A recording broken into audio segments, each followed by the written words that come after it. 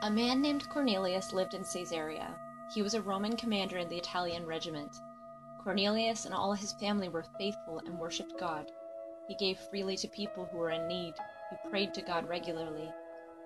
One day, about three o'clock in the afternoon, he had a vision. He saw clearly an angel of God. The angel came to him and said, Cornelius. Cornelius was afraid. He stared at the angel. What is it, Lord? he asked. The angel answered, Your prayers and gifts to poor people are like an offering to God, so he has remembered you. Now send men to Joppa. Have them bring back a man named Simon. He is also called Peter. He is staying with another Simon, a man who works with leather. His house is by the sea. The angel who spoke to him left. Then Cornelius called two of his servants. He also called a gold, godly soldier, who was one of his attendants. He told them everything that had happened. Then he sent them to Joppa. It was about noon the next day. The men were on their journey and were approaching the city. Peter went up on the roof to pray. He became hungry. He wanted something to eat. While the meal was being prepared, Peter had a vision. He saw heaven open up.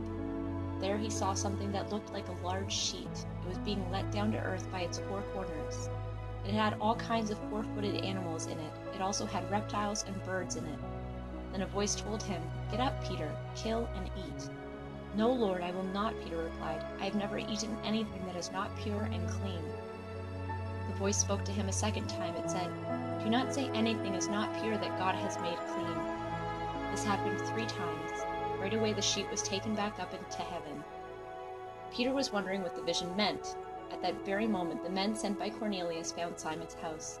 They stopped at the gate and called out. They asked if Simon Peter was staying there. Peter was still thinking about the vision. Holy Spirit spoke to him.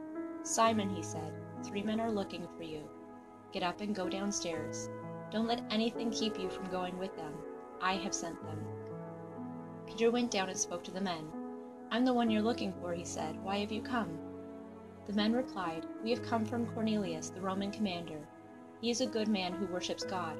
All the Jewish people respect him. A holy angel told him to invite you to his house. Then Cornelius can hear what you have to say. Then Peter invited the men into the house to be his guests. The next day, Peter went with the three men. Some of the believers from Joppa went along. The following day, he arrived in Caesarea. Cornelius was expecting them. He had called together his relatives and close friends. When Peter entered the house, Cornelius met him. As a sign of respect, he fell at Peter's feet, but Peter made him get up. Stand up, he said. I am only a man myself.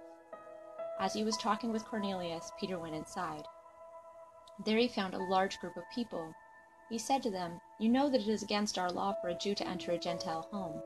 A Jew shouldn't have any close contact with a Gentile, but God has shown me that I should not say anyone is not pure and clean. So when you sent for me, I came without asking any questions. May I ask why you sent for me? Cornelius answered, Three days ago, at this very hour, I was in my house praying. It was three o'clock in the afternoon. Suddenly, a man in shining clothes stood in front of me. He said, Cornelius, God has heard your prayer. He has remembered your gifts to poor people. Send someone to Joppa to get Simon Peter. He is a guest in the home of another Simon who works with leather. He lives by the sea. So I sent for you right away. It was good of you to come. Now we are all here, and God is here with us.